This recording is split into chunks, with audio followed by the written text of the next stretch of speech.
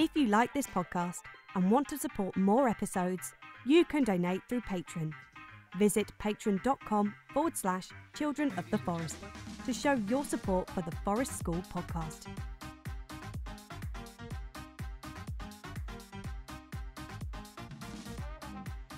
So we got Nik and we got Charly.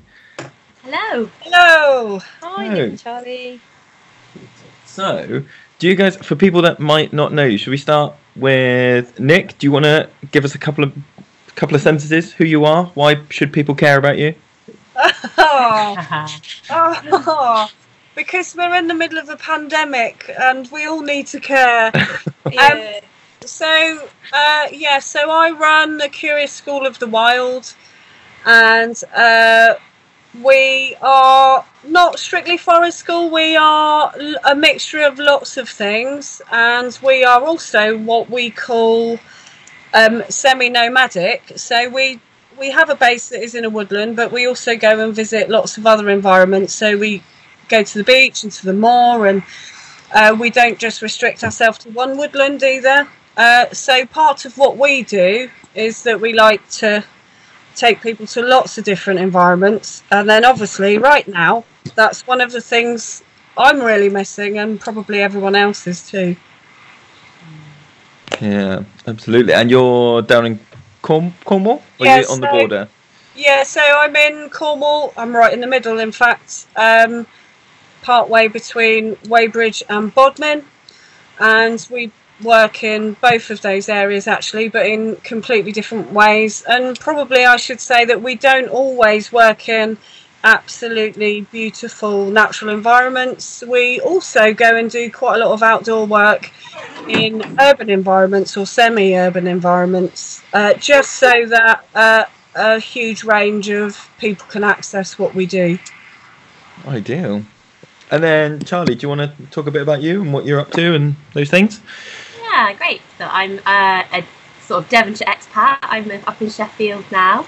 Um, I'm still quite new, so still sort of finding my feet in my sort of forest school community up there, um, up here rather. And yeah, I've been doing a few after school clubs, which has been really lovely, getting to know the local schools and the local areas, um, and the sort of the differences in places in Sheffield, so like the really deprived areas and then the really wealthy areas and what they have to offer in terms of their outside spaces and schools. So that's kind of my background is going into schools and using their sites as best as we can. So yeah, that's what I've been up to recently. Um, but before, like Nik was saying, probably in a similar way, I was doing a lot of urban sort of stuff. So going into schools in Bristol Mhm. um, and doing more outdoor learning. It wasn't forest school, um, very much outdoor learning. Were you Well- working at the RSPB at one time, Charly? Yeah, it was. Yeah, so that was my last sort of main job, really. So I was working Yeah. for them for three years, doing their outreach in Bristol schools, trying to get the kids outside of the classroom. Way! Yeah. Yeah. Ideal. That's But now we're all inside Now we're all indoors. Yes. in the most done. urban. Yeah, just chatting, just chatting about forest school and the outdoors and trees. Well, yeah. So I kind and I think uh, we all kind of wanted to have a chat. Um, Charly, we were talking about it sort of one to one, and then Nik, you. Um, well, it wasn't quite a blog, was it? You wrote quite a, a long Facebook post about the uh, um, resources and things that have been coming up, and it seems like a bit of a, a hot topic. And there can be no better plan than to take something that's fresh and new and we haven't thought through, and to just talk about it on Yeah. the in- what can go wrong? Yeah, we were talking about that anyway, Nik, and then I saw Yeah. your post and thought, Yeah. oh, okay, well, this really, really ties in because um, I think quite a lot of people are in a, well, I don't know, from my perspective, it seems like there's two camps at the moment of kind of outdoorsy folk who are doing that uh, for a living. Um, and one camp is like, okay, cool, I'm going to utilize technology and use this chance to make stuff, make content and post it up. And I'm going to do it as often as possible. And it's a way to kind of, um, you know, keep in touch probably and keep my hand in and keep um, awareness of what I'm doing going with the community. And then there's another camp of people who are kind of going, mm, don't know about that actually, not really sure, not really sure whether that's something I've heard people say. I'm not sure I, I want to give away my content. You know, I've been working really hard and developing these ideas for a long time, and this how I make my living. So if I'm just like giving away all of my activities that I've designed and come up with, then that's going to put me out of pocket, and I can't afford to do that. I've heard of people going, well, it's not really forest school though, is it? Um, to do all those things and to say, Mm. just go into your garden and make a bird feeder with, you know, out of a loo roll with some bird seed stuck on it. Um, so it's kind of, yeah, it's kind of an interesting one. Um, I've kind of waffled there, but um, do you want to explain it? What what your kind of perspective on it was? Um, so that post, by the way, uh, that you mentioned, a friend of mine emailed me after and then basically labelled it Facebook suicide. oh really? Oh, dear, I don't Um, think that. and uh, I understand why, but it's because I I probably have been a person in between those two camps. So I definitely began thinking, okay, everybody's at home, we can't meet at our groups, and so I think I started off with this idea that people would need it, but then to be honest, within a week, um, it, it was just flooded with content. And so then I had to kind of uh, just think about why I was producing it because it was no longer because it was needed because there was so much stuff out there. And then I also had to think about um, what I was producing in comparison to, you know, like big names, big celebrities, like Chris Packham was doing a daily post or a daily vlog. And, and then I just, to be honest, I thought, well, I don't know if there's any need for me to keep giving away content when so many other people are doing such a good job. But besides that, I started to get a bit twitchy about the kind of inequity of it, which was really the reason why I stopped because I couldn't. I was struggling to think of things that would be activities that would be suitable for everybody, no matter what their circumstances. And um, we did a few things and it was fine, but it was becoming more and more tricky, um, not knowing what resources people had in their home or outside. And and then I also started to feel like there was almost this kind of competitive edge that some parents were almost sort of it's a kind of corona bragging like uh, look at the fabulous stuff I've done with my kids today and I kind of wanted to not really be a part of that I didn't want to become associated with that happening if that makes sense Yeah. so I Yeah. bailed Yeah. I bailed and ran I think if I can go, if I can speak to the first part of what you were saying about, um, is it needed? And I think that because needed is a really interesting word, isn't it? Because I think, uh, I think with the best will in the world, people, a lot of people saw a need which was for community and for connection and for maintaining relationships, but but what they produced was. Um, sort of mass market, um, open to everybody, didn't actually meet that need of like, well, what? Because if I, you know, you take this Corona thing out of the picture completely, um, and if I said, why do people come to uh, my sessions, you know, and, and Gemma sessions? Is it because Gemma and I have got the magic book of resources that we keep hidden away and only we know about the activities? No, it's because we build relationships and we communicate in a certain way and we've built all those things up. And i think so we've uh, we i've done one video and i didn't share it publicly. I just made it for our parents and our children um, and i just had a chat on zoom and read a story. Um, and it was really simple. It was mostly me going oh hello what have you been up to? How you been doing all that stuff? And doing that like relationship building thing. And it occurred to me afterwards that actually, in terms of relationship building and connecting and community, the stuff that we put out to connect with our groups doesn't actually. And now maybe I'm going out on a limb here, but I don't mm. think it needs. I don't think it needs to be outdoorsy, because I was thinking about it and I was like, would I have the same impact for those goals of community and connection and whatever if I said, guys, I'm going to cook pancakes at eight o'clock tomorrow morning. You need flour, baking powder, and milk. I'm going to put the camera on. Let's all cook some pancakes together. Now that's not outdoorsy. It's you know, it meets that need, but it's not me going here is the magic. You know, here is a lovely outdoor setting, and look at what I've built in my garden. Yeah. You know, I know, and that's one of the kind of um, things I've thought about in terms of like when I've gone, oh, maybe I should be doing something, and um, I kind of I feel quite uncomfortable, uh, sort of acting like I am the great keeper of knowledge about nature when actually this could for those people in, in that in that circumstance. Do you know what I mean? Like if you're if you're with people in the moment and together in a forest school session, you discover something, and you know you as a leader might happen to know a little bit more about exactly what type of insect that is. Then cool, you can kind of sprinkle that in and chuck that into the conversation, and but listen to what the other people are saying and respond and spark off of them. Whereas if you're kind of doing like a an outdoorsy nature video, then you're kind of there going, "Oh, listen to me! I know all about nature, Nice. and let me tell you about this thing." And I don't really, I just that sits really uncomfortably with me. Um, whereas something like that you're describing, Lewis, where it is just a, a kind of thing like making, you know, probably I imagine you chose pancakes as an analogy because that's something we do a lot with our groups. So they Mm. will recognise that as a thing that they've done with you, and so that will be a kind of reminder and a and a and a contact for that. Um, but yeah, and similar to um, what you were saying, Nik, in terms of like I am incredibly fortunate where I live. I've got the woods right next to my garden, and for me to kind of prance around and go, "Hey, look, it's really simple, everybody. Just go outside to this Yeah. lovely, you know, woodland that happens to be next door to me that we just go in all the time." Um, it just is a bit depressing for those people who are stuck in a flat or a city. Um, Yeah. yeah, what? Yeah, I was um, just becoming It's also about the space you create.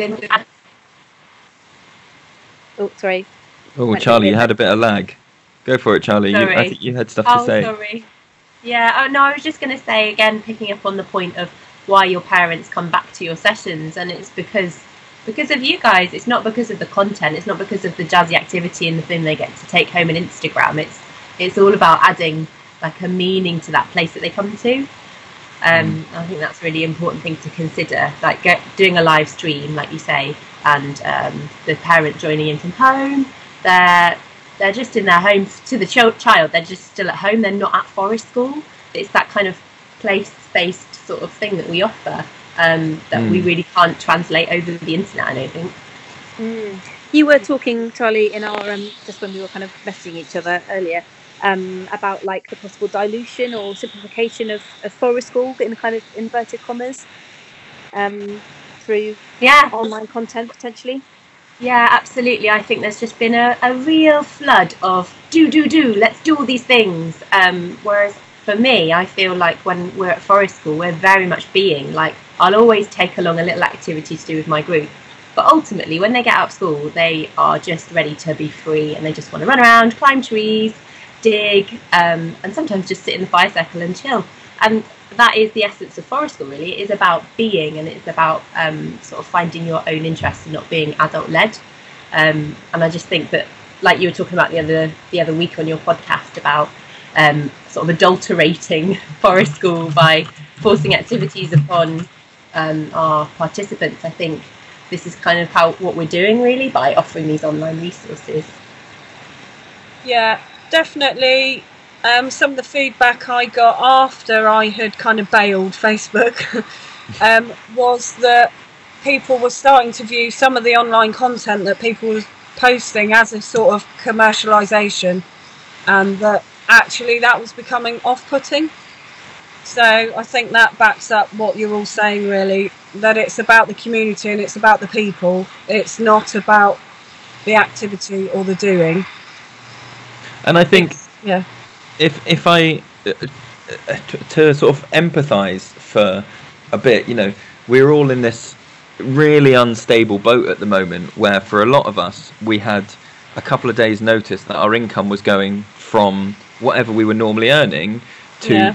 potentially nothing, and Yeah. some people are getting grants, some people aren't getting grants, some people are getting you know this salary compensation, and some people aren't, and I can't say I blame people for possibly having a bit of an internal panic and going, how can I make any money at all while I'm at home? And you just go, right, I'm going to throw this at the wall. Um, but I, Yeah, d- my, and perhaps I'm coming from a, a privileged point of view here, where Um, well, no, I don't think I am actually. I'll, uh, I'll disclose that I have been on uh, Universal Credit for six months, just because Forest School is not a well-paid job, and so to supplement my income, I received some benefits. So when the income went to zero, I knew that I had enough benefits to come in to just pick up the windfall, and I've been very fortunate with things like mortgage payments being paused, all that stuff. Um, but I do worry about what the landscape will look like in six months' time when we go back. If if people, if the community keeps up this kind of activity, activity, activity, it's all about the content. It's all about what you take home.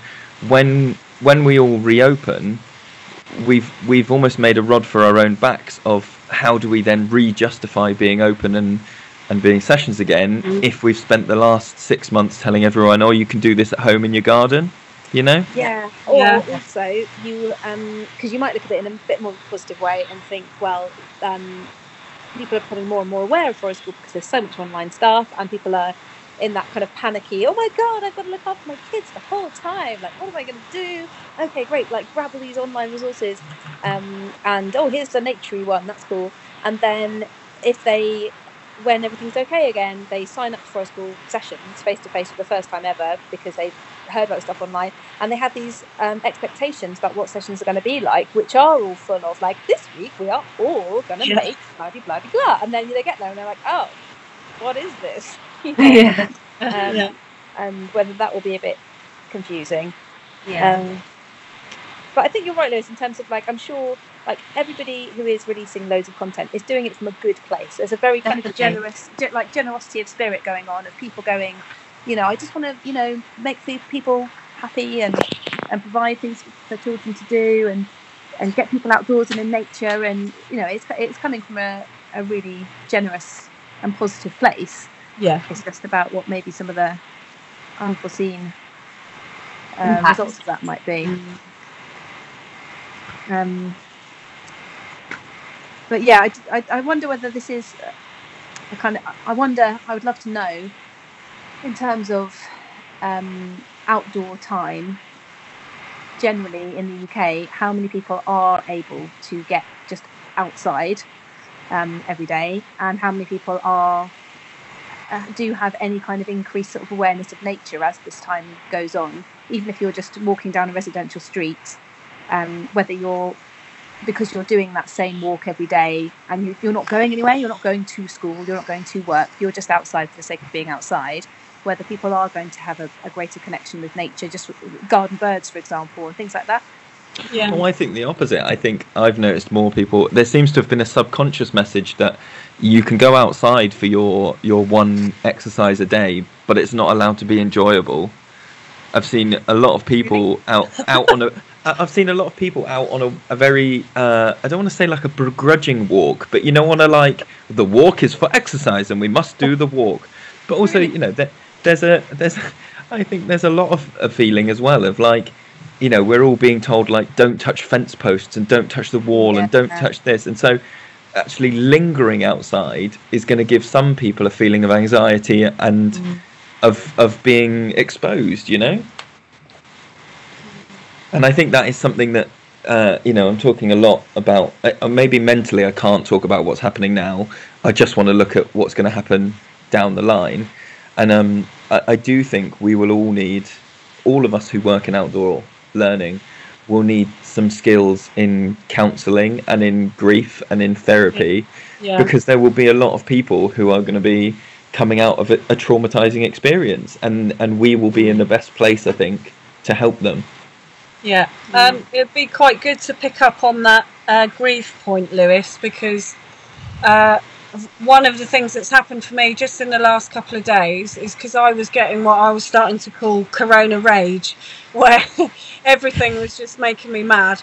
And then even things that I found uh, really helpful or or pleasant before, like lovely pictures of the woods or the beach, I was just starting to find quite irritating because I couldn't access it anymore. And then um, my tutor uh, sent me an article that were that was basically titled something like uh, "The discomfort that you're feeling is grief," Mm. And so I I read it and I thought about how I was just getting mad at things that I was never angry about before. And then actually I have to say I had a really good think about it and I did a bit of writing and and basically just had to admit the fact that I was in a bit of sort of nature outdoor mourning really and that I people that I love like Tristan Gooley you know who I like follow and everything he posts is I'm like, I'm Mm. Really impressed with. And then all of a sudden I was like why are you posting that Tristan? I can't go to the woods. I'm never going to see a wood anemone this spring. And I, I was getting a bit of rage. And then that just that article just kind of put it in perspective. And I think you're right that actually there are going to be a lot of people that are experiencing one type of grief or another. And um, for us outdoorsy folks I think that's pretty significant at the moment Yeah. and so I think the idea is that we should probably forgive everybody most things especially if it's really out of character yeah.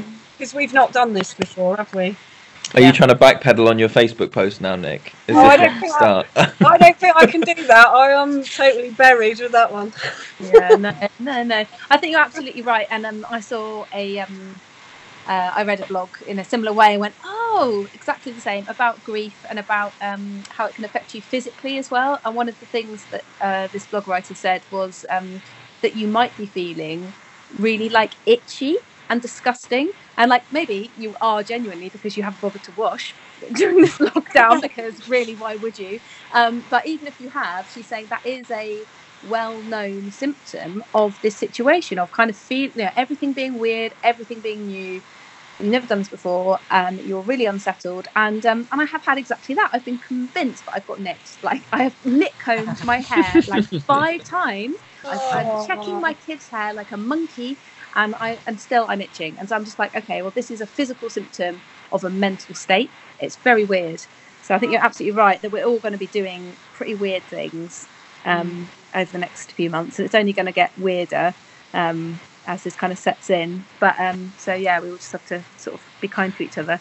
And we Um, were t- we we were saying before you and I, Gemma, and um, I think Charly, we might have touched on this as well. But like one of the feelings of of like, I guess it's grief and loss, isn't it? Is is like the feeling that like us losing our businesses and our groups isn't fair. Like and and just sort of accepting that that is a, a completely appropriate feeling Yeah. to to just sit and be like it isn't fair that that that the world has taken this away from me you know we worked really hard we built all these communities we set all these whole things up and now it's just being taken away you know And it ultimately, I guess it makes us all realise how vulnerable the whole structure and the system is because unfortunately what we offer isn't mainstream curriculum and that's where we kind of almost get penalised in a way. Has anybody arrived at the point where they feel like they've just had to admit that they will be starting from scratch when we get back to whatever normal is? See, I think I have, and I said that to you, didn't I, Lewis, on the phone the other day? you I did like, and i shouted you gone." down And Oh, no. like, it'll be fine. It'll be fine. And you made me feel better. But um, I just, but I kind of feel. I don't know if this like sweetens the pill slightly or makes it worse. In that I don't think anything will feel the same after this. But again, Yeah. that might be my mental state that I cannot imagine ev- anything ever going back to the way it was. I think it'll be like a new world, you know. And maybe there will be some some changes that are you know positive. But it feels awful to say that when you're talking about you know such a huge loss of life and terrible risk. Um, I do think though that one of the one of the benefits of being a forest school leader or an outdoor educator is that it is inherent that we are lifelong learners and that we are flexible and um, you know malleable and that we're always sort of taking in information and going oh what's happening over there oh is this going to be a thing that affects me all this stuff and I think something to take away is that like wherever your business or your community was I mean, unless it got there by some freak accident, it was got there because of you. So there's every reason to believe that, yeah, you might be taking a few steps backwards, maybe even a lot of steps backwards, but you did it before. We did it before. You know, it's only going to be easier now because we've already made some of those mistakes already. We can fast track back. I hope. I just say I didn't necessarily feel like it was a negative thing that I'd arrived at the conclusion that I might have to start from scratch. It was actually almost a relief to just kind of let it go and think, Mm. okay, whatever happens. And a bit like you're saying, probably, Lewis, I just thought, well, I have done it before, and if I do have to start from the beginning, that's okay. But it was a kind of relief to just kind of admit that. Mm. Yeah, rather than clinging on, clinging on and trying to save it because you can't. Yeah, and having a kind of panic, trying to keep everything running from Yeah. afar or digitally, and that was more stressful, especially when at the same time as thinking about our work and our groups and how to maintain some of that, we're also, you know, having to work out how to not get ill and how to find food and all of those things, and and Yeah. just power spirits up actually. Yeah. And sometimes we can int- unintentionally put too much of the onus on ourselves. You know, it's very because being outdoors and, and doing this work is our lives, and it's a very all-consuming way of of living and and of um, uh, and of earning.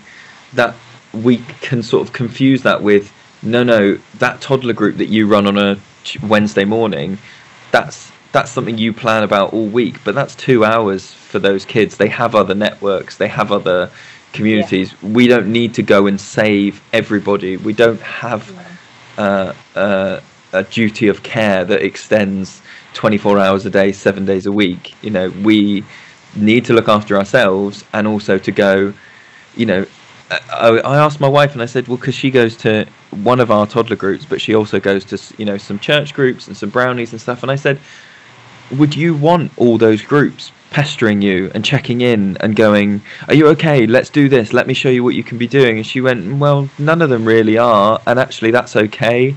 I've got my own stuff to be working on, you know? And also, it's important to remember that parents are obviously going to be with their kids 24 7 and hopefully have a newfound sort of respect for the um, opportunities that we offer for them to have a bit of a breather, maybe, and to sit down and a cup of tea in the woods. So you might find that you actually have more demand for forest school, particularly like a holiday club and things like that, where parents are just like, please just take my children. I've had enough of them through this lockdown. So it might actually be, I don't know, a silver lining maybe. I don't know. Oh, I think there will be a different view of what we do, whether whether that is um, viewed as you know the great childcare that it is, or whether it's um, the communities. But I think there will be a different view on what we do, and I think um, I think I think I would like to imagine that more people will see the benefits of forest school to a family unit, not just to an individual child. To to go come into the toddler group isn't just because you know we get some par- we have some parents that that get this already, but so, I would hope that there'll be more that might go. Oh, do you know what? This has actually shown me how to just sit and be with my kid, or this is a really good way of us bonding together. Um, yeah, you know, you know, you guys know where I'm going. Uh, dig in that hole.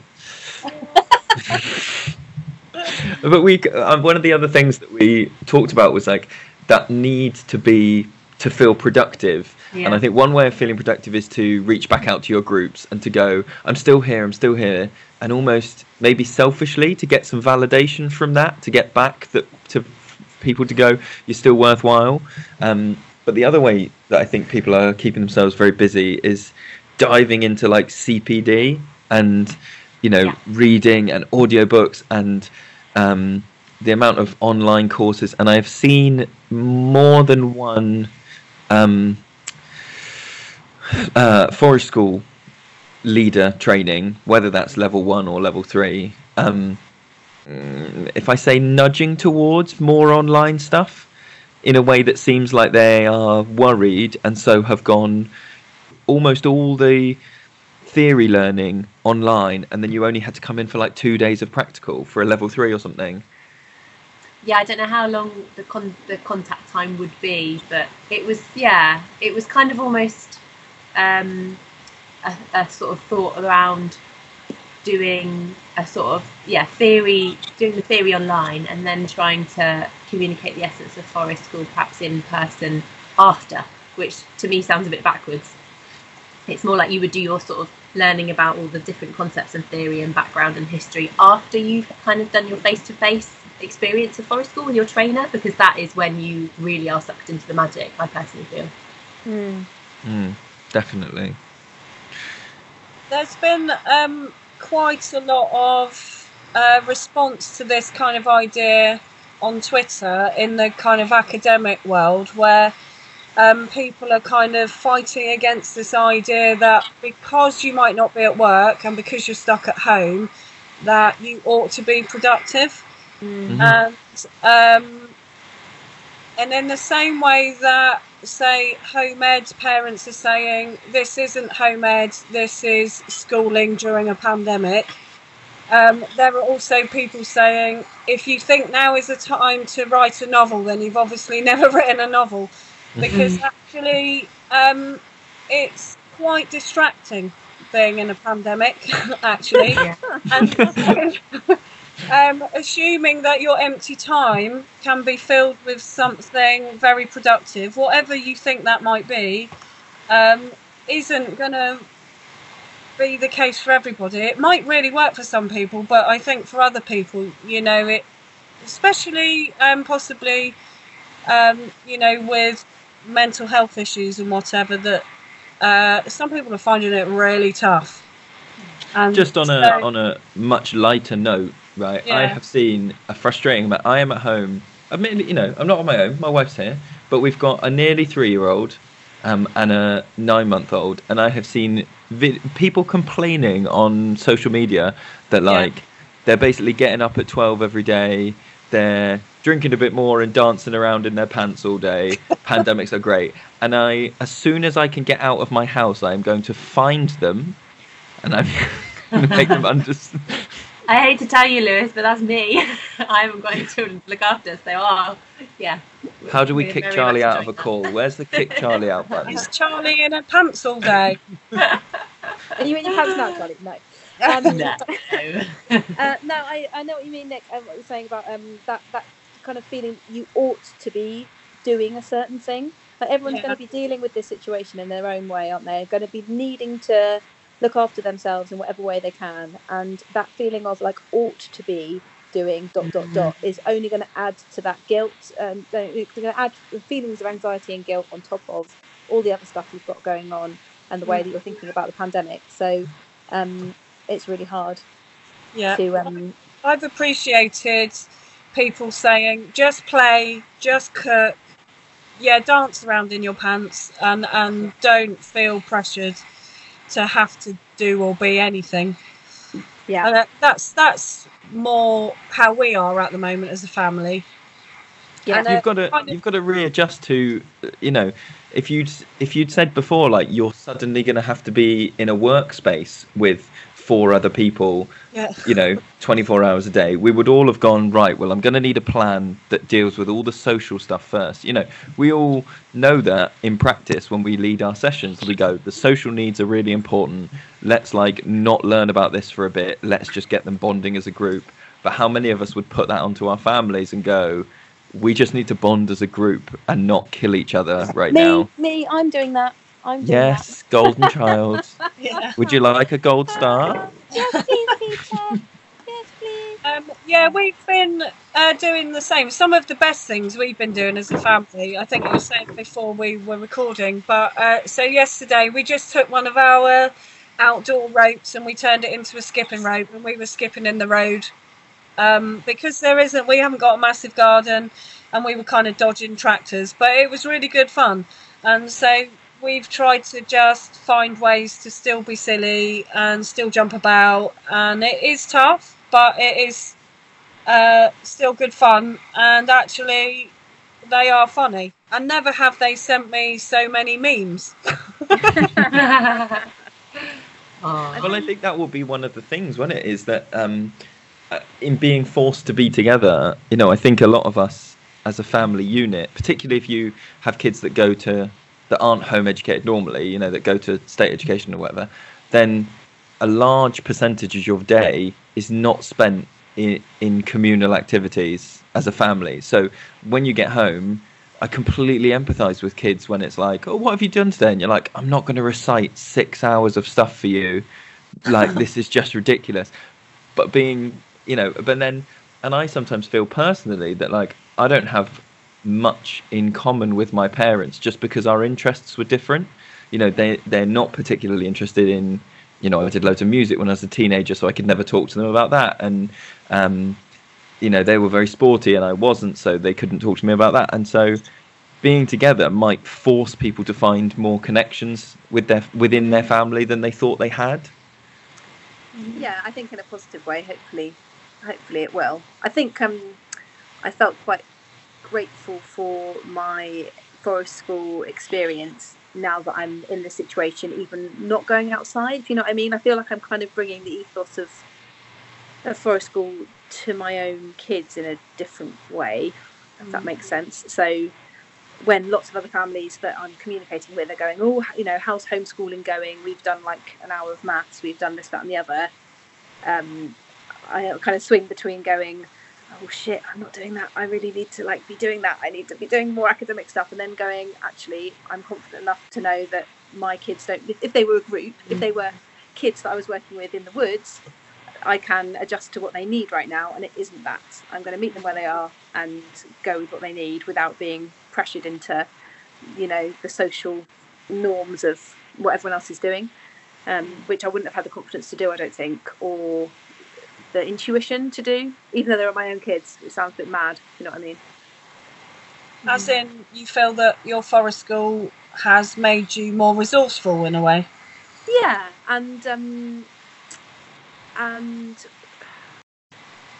yeah, meeting people where they are, just kind of listening and observing them, like you might a, a kids that you're working with in the woods, which you don't have time to do necessarily. Like I said, when they're at school all day and then they come home, you've got to cook the tea. You have definite moments of insight and connection, but when you're with them all day, every day, and especially in time a time of crisis like this, and you're kind of monitoring them all the time and going, oh, okay, what do they need? Are they feeling okay? Um, you know, how are they responding? what are they missing what, how can i meet that need i feel like i'm kind of bringing in a bit more of my professional experience there to add on top of my normal parenting level And picking up on what you were talking about in your last podcast and the book by Dan Siegel, I've been listening to that and it's been mm. amazing. And Yeah. showing up, you're probably showing up much more than a lot of other parents. You're being really present. You're not sort of forcing a child in front of the webcam to say, right, let's make this leaf crown together right now, and being mm. distracted by all these other sort of pressures of needing to produce something and to tick boxes and all that kind of crap. So yeah, I think you're probably getting an opportunity to do that even better than ever. I think it will be interesting when we when we all emerge to see because I think it will almost be like I don't know if any of you have worked in um, or been close to working in like a reception class, um, and and that massive meeting is- of worlds where all those children have to discover that like what you have in your lunchbox is not what everyone else has in their lunchbox. The like the way that you get up and have breakfast is not the way everyone else has breakfast, and they just spend like a whole year, cons- uh, you know, sort of figuring each other out and going, "What do you mean? What do you mean you don't like all play the like pants on your head game when you get dressed? That's weird to me." And all that, and like I think we will have a bit of that when we come back out, and some people will have had some people will have been sat down and been told to make a leaf crown and that they can't talk and i've heard more than one parent say that they have been putting their child i'm going to use the word putting putting their child in their uniform still every morning because it's the only way they can get them Wow. to do acad- to do academic stuff in the morning and then they were like we let them take it off in the afternoon but in like to maintain a routine they have still been going you get up you have breakfast you put your uniform on you know they've put a desk over in one side of the lounge or whatever it is and like may okay let's let's caveat everything. Yeah, yeah. maybe that's what they need, right? Maybe that child has all the needs in the world, and that is the perfect way to deal with them. Um, oh, somebody's buzzing. Um, just changing the subject slightly. Uh, Nik, you're doing a PhD, aren't you? Yeah. Do you want to? Trying. I'm trying. to Yeah. Are you able to? All my is, that kids in the house. is it on pause for the moment? Uh, no, it isn't, and that's interesting. So, um, so basically, I've given my kids the green light to not do any work that school sends them. Yeah. um, however, uh, I've still got deadlines, and um, yeah, and it and it is, and it's what I was saying earlier, really. So it seems like a really obvious thing that with all this time, I should be able to do loads of reading and get loads of research done and do lots of writing. And in one way, yes, and in another way, absolutely not. because I mean, they're just. Um, I love my kids, but they're in my face. They are like limpets, and they're big kids, and and they need stuff. And like you said, Gemma, they need you to keep an eye on them and just make sure that they're okay. And in order to get some work done yesterday, I basically wrote them a GCSE art brief. Amazing. Yeah, so that they would leave me alone and let me just get on. Um, so I am still working, yeah, towards the research, but it is more challenging. I've probably gone from about five or six hours a day of work to maybe two or three. Well, still pretty good. So, yeah, but that's only after I managed to get rid of the corona rage. Yeah. Before So- that, it was probably zero.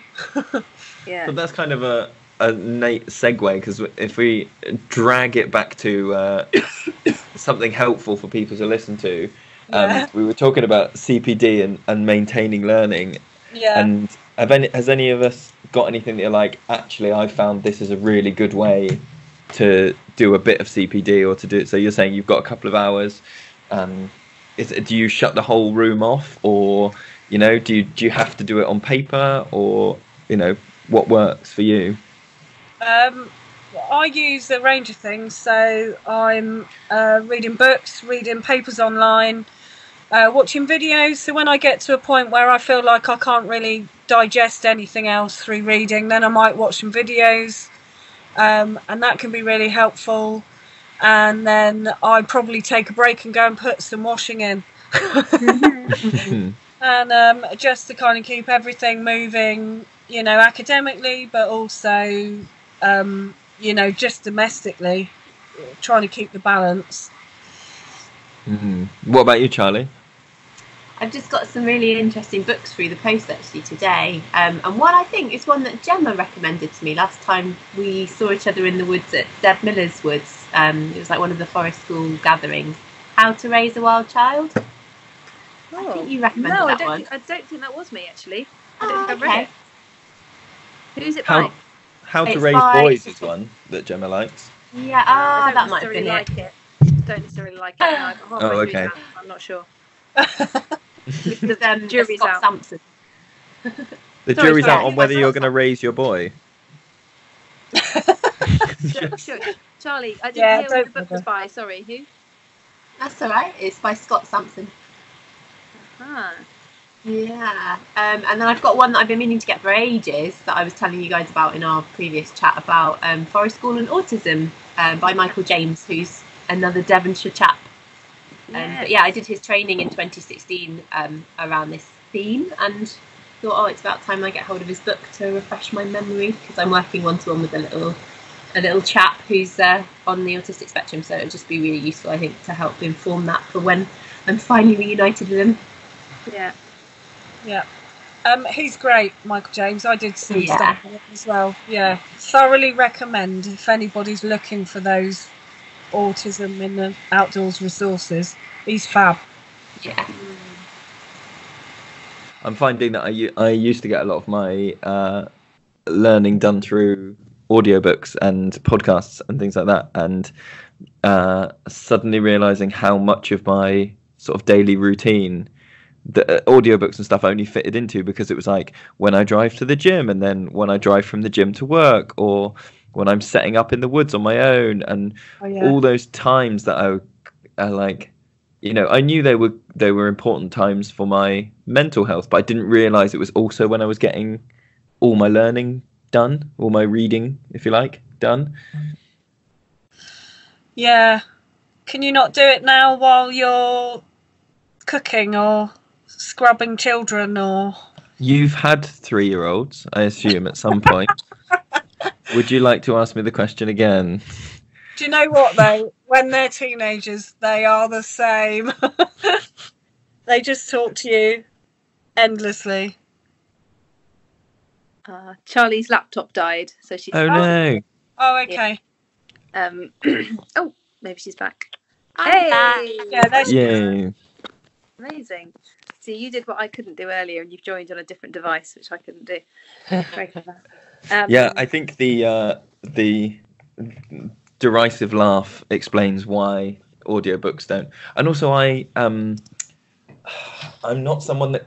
Uh, uh, okay, if I'm going to be really gendered, right, I'm a man and I cannot multitask at all. If I am Oh, watching the TV or if I'm listening to an audiobook and then, like, even if I've just got the radio on and my wife starts talking to me, I'll be like, I'm going to turn it completely off so I can listen to you because I cannot hear two streams of, you know, I can't hear two bits of conversation.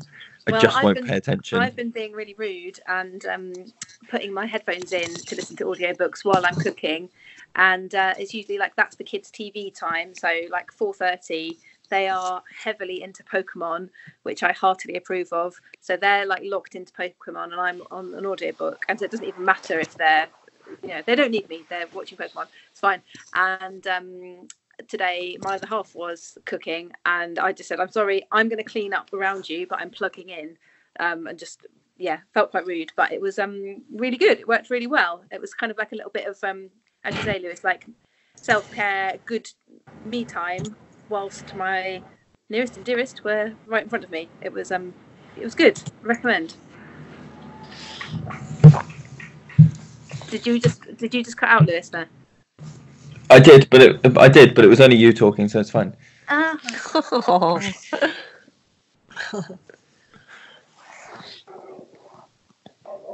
Oh, uh, just in true Forest School podcast, there is an animal shouting at my window. I A can hear large, it a large dog. Ah. There we go. It's not quite the squirrels and. Gemma, I meant to say that I went in uh, to the woods the other day for obviously some very vital exercise and not at all to just fart around in the woods.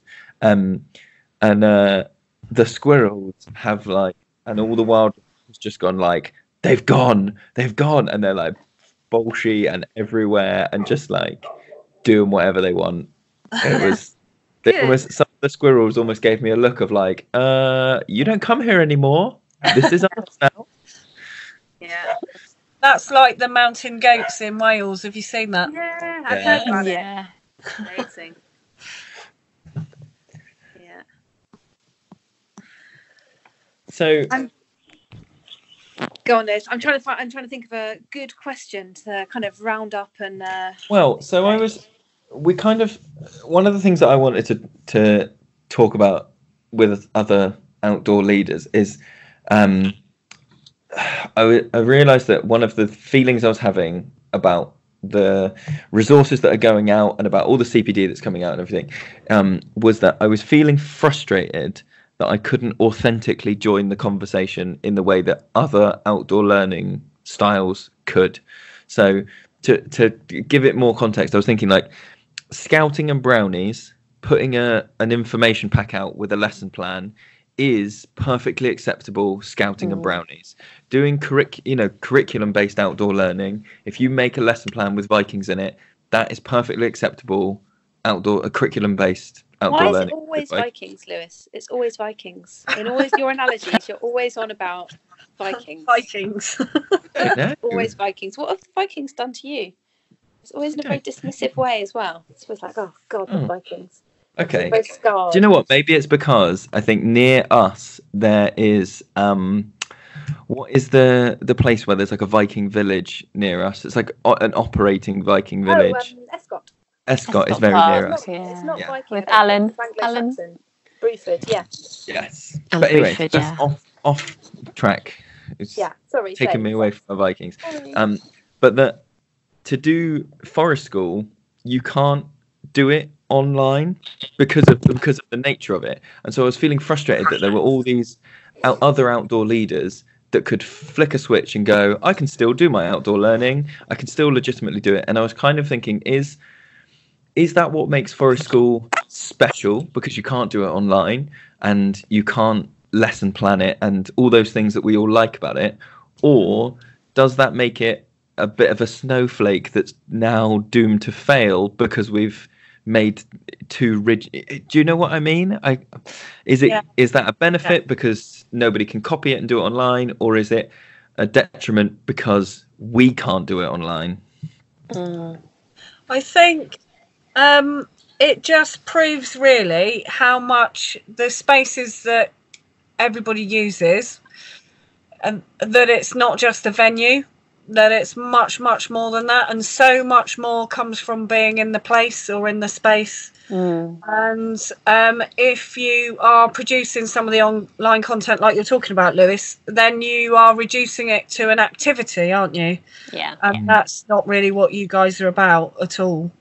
Um, so I can see how that would be really frustrating.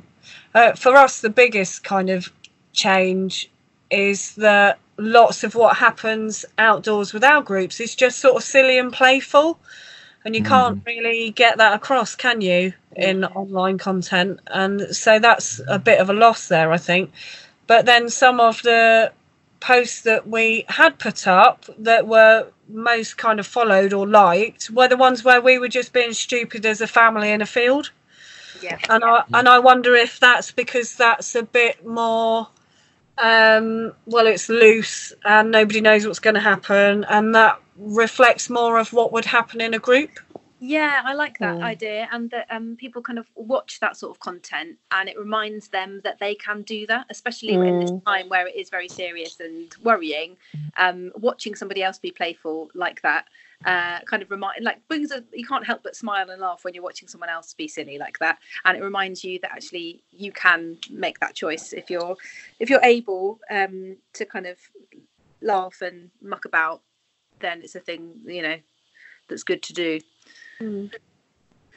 There's also something else I thought of when we were posting things that involve foraging, and that when you do things like foraging with your groups, you have an awareness of their knowledge um, as individuals and as a group. And so, uh, with our groups, for example, we would know that they wouldn't mistake lords and ladies for wild garlic because we know them really well and they've been with Yeah. us for a long time and we will have talked about it and we would have cooked with it.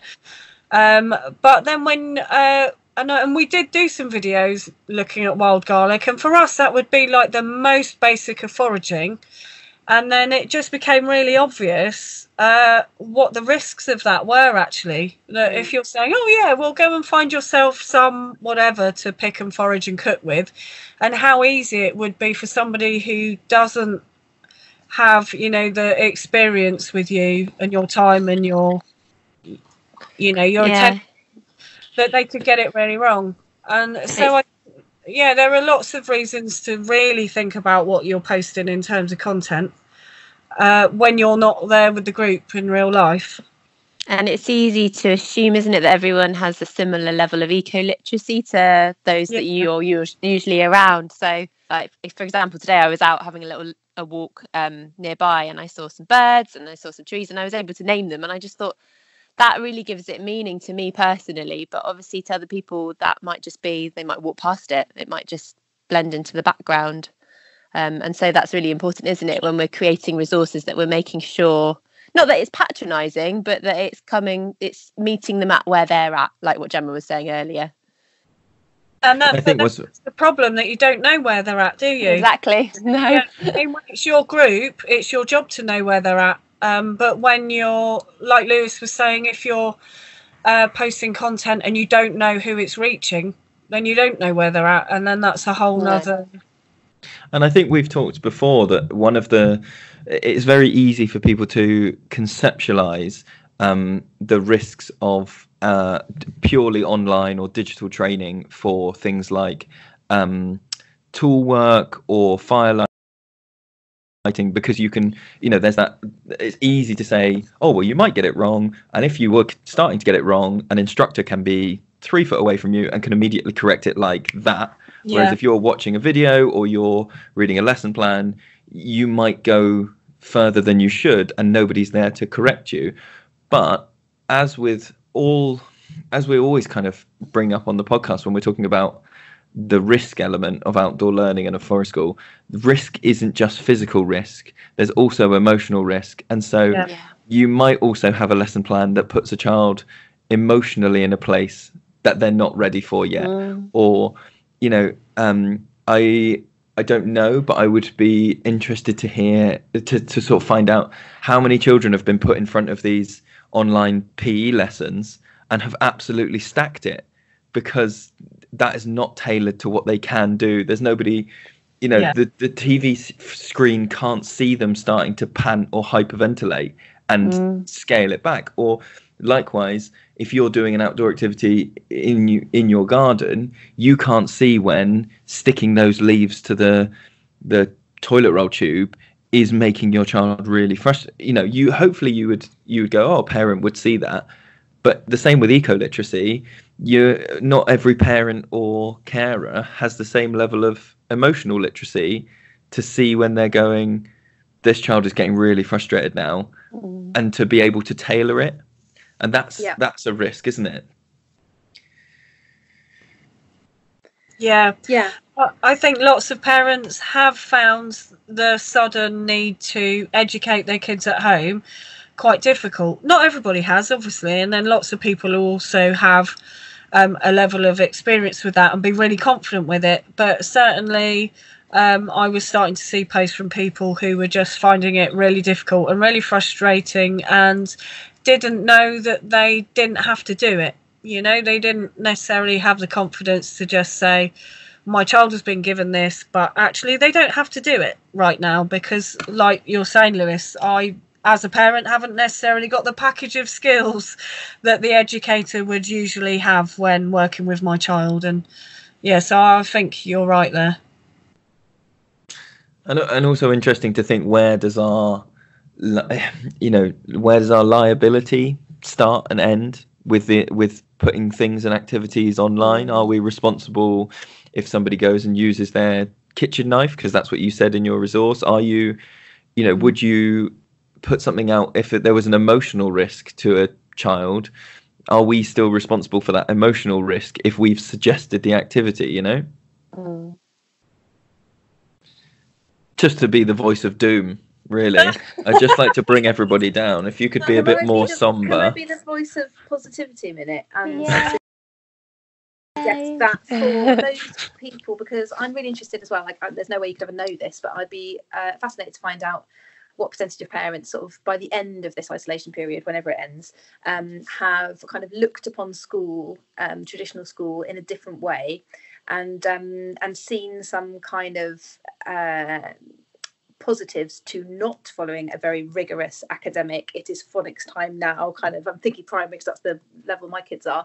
Um, and if they have had some positive moments with their children at home uh, playing and being fun you know having joyful funny silly times together indoors or out um, and whether they've noticed positive changes in their children's behaviour which i certainly have and i wonder you know obviously some children are going to be finding this very, very difficult and missing a lot of things and being scared and worried. Um, but there might be moments where actually there's a lot of positivity going on as well. And I wonder whether um, in sending children back to school, whether some parents will actually challenge the status quo a bit and whether that might be a little gap in the fence for Forest School to lobby and make a, a case for ourselves um, as part of mainstream education if you know what I mean, and say, you know, whether I think the, um, parents that are like, we want our kids to play more, we want our kids to be outside more. We've seen the benefits of it firsthand now during this difficult time, and whether us as sort of outdoor practitioners can use that momentum to actually lobby government um, or just our local school down the road and go, listen, you know, this is very important. Let us in. I think that the children will do more, um, uh, not consciously, but um, I was talking to my wife the other day, and I was saying about how. Um, uh, so when I my uh, time as a teacher, I was the year three and four teacher, and it was very much emphasised to me that your your job is to break them out of that key stage one is play and key stage two is when they start to sit down and do rigorous learning and uh, I, I look back at it now with some remorse but i was very good at like i'm going to use air quotes like breaking children in in they could that i would was good at behavior management and could get them to sit down and could get them to do whatever if you are a year let's say eight teacher and you're inheriting a class in September, if they've all if they've had what's that nine years of state education, they're almost not maybe resigned to it is is the way to think about it.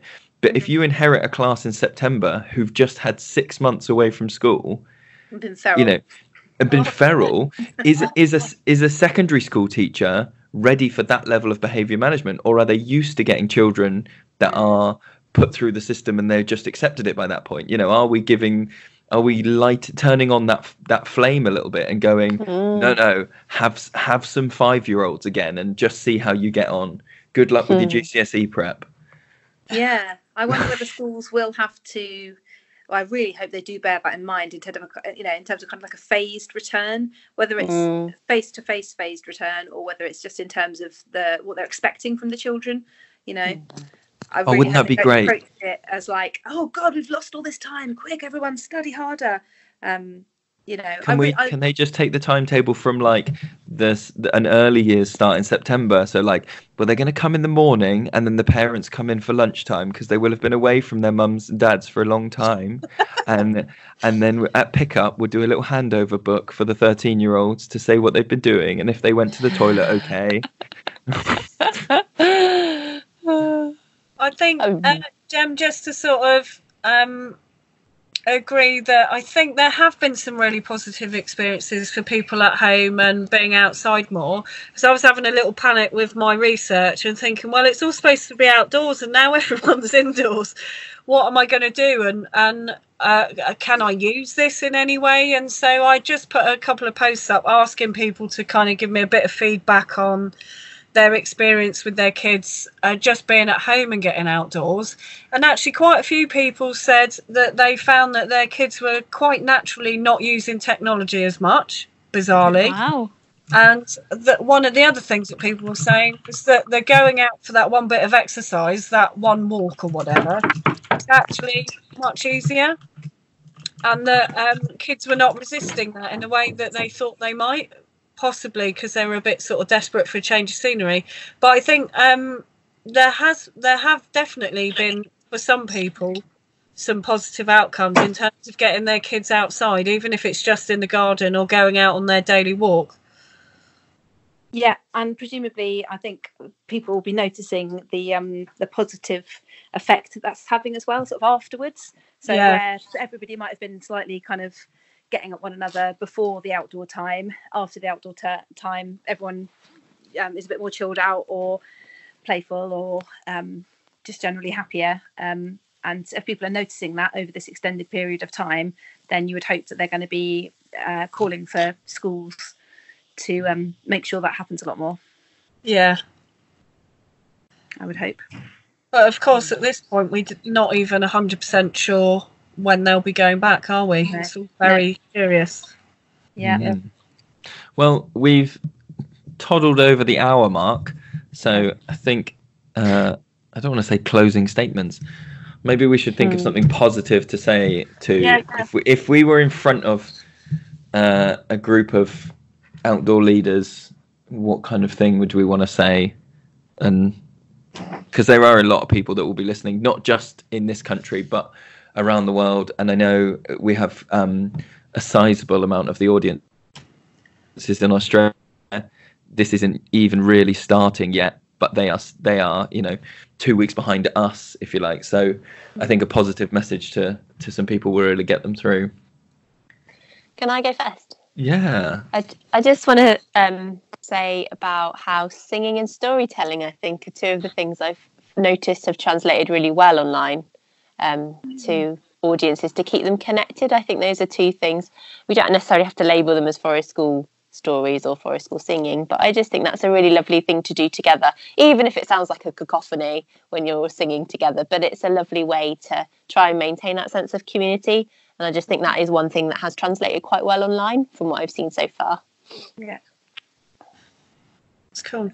Um, I think uh, for me, before this, uh, the crisis had kind of um, come to light, I was already working on um, something called the Tiny Adventures Project, and that was uh, that came from the idea that we can all find even really small ways that we can get outside and access nature, um, and and that be accessible for everybody, no matter what their resources were. And so I was kind of building on this idea of tiny adventures, and now it's like we need even tinier adventures.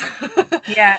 um, and so uh, for me, even though it is a bit unusual and a bit frustrating, um, it is essentially positive because I think it does mean that everybody has to give a bit of thought to how they get their adventure, how they get their outdoors, how they get their nature, how they get their fresh air, how they get their physical activity, and um, and, and in some ways um, there is some inequity in that, but in other ways I think it's been a real leveler, and so Mm. actually we've all got to think about tiny adventures now. And, uh, so for me, that's um, been quite positive and, and quite interesting, definitely. yeah. I think a, a positive thing about being forced to stay home um, has meant a more kind of mindful approach to living generally and an appreciation of, of what you have.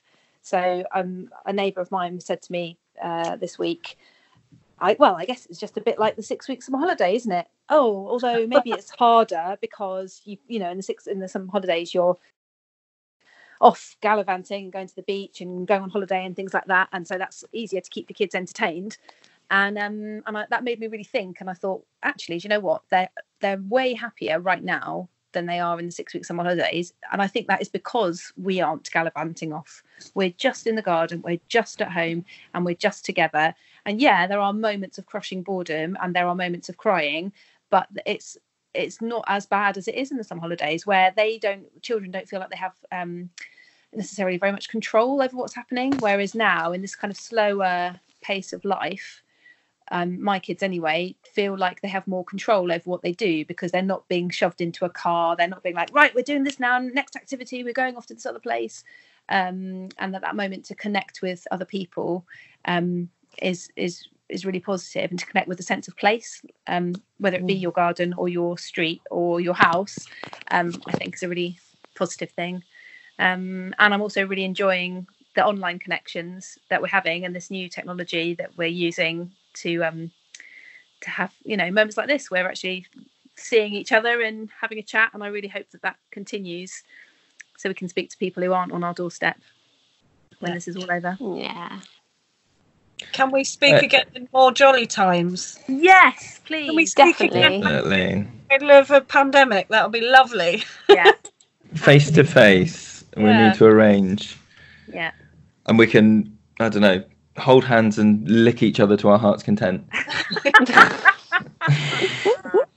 I think I would like to say to the wider world that just as as scary as it is, I think one of the biggest things is that there is a lot of uncertainty and that we are all essentially alone with our thoughts a lot more than we are used to or possibly comfortable with being and I think you can fill a lot of time up by constantly watching, you know, what's this update and what's this update and what's going to happen now.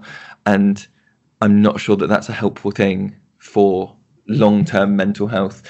And I think one of the things that is going to be more important than ever now is reflecting and on, on checking in with yourself. So reflecting at the end of the day of, of what was good and what was uh, what may needed to change tomorrow you know so that because you've got you've got nothing to do but work on the next day you know there is there isn't yeah. time to be thinking what what am i going to be doing in 2 weeks time because occup- you know it is almost wasted thought because you don't know what 2 weeks is going to be like so sit down before you go to bed think about what was good about the day think about what was or stop in the middle of the day you know pause when you have lunchtime and just think what is it I'm feeling? Is it that I'm not feeling productive? Is it I'm feeling worried? Is it I'm feeling you know, is it just a body sense of hunger or of, is it just that I'm used to being uh, Busy. busy? And one of the things, I'm, I mean, just to take it back because I really enjoy his work, one of the things that um, John Taylor Gatto says is that um, he talks about children being raised as consumers and that uh, we are a, a society of consumers. And he doesn't just mean um, physical goods, he means entertainment and um, products and other people's thoughts and opinions. I'm aware that we're doing this on a podcast where people are listening to our opinions, but um, but that you know how much of our day before are we able to generate our own interest? Probably not that much. We probably rely on an outside source to keep us entertained for a large part of our day, and Mm. maybe one of the things that comes out of this is that we realize that we can make our own entertainment and that we don't need to watch every YouTube video that comes out or to, to stick the TV on and and not be alone with our thoughts. And that is going to be uncomfortable for all of us. But checking in with our thoughts is going to make us better off in the long Mm. term. Lewis, do you want me to phone you on Skype with an item of my lunch pressed to my head and ask you how your day's going at snack time and lunchtime, like we do at kindergarten? with a Like banana, phone. Hi, Lewis. How's your day? I, I mean, it can be it could be a banana, it could be a vegan sausage roll, any any of those snack items, I tell you what, you slam whatever food item you want into your head, and I'll enjoy it. just to help you with your daily reflections. Ah, Uh, well, thank you guys. Thank you for Yeah, giving thank you us some very your much. evening. You. Thanks. yeah, Brilliant. and speak Thank you you very much, guys. Yeah. Cheers. Take care. Bye. Bye.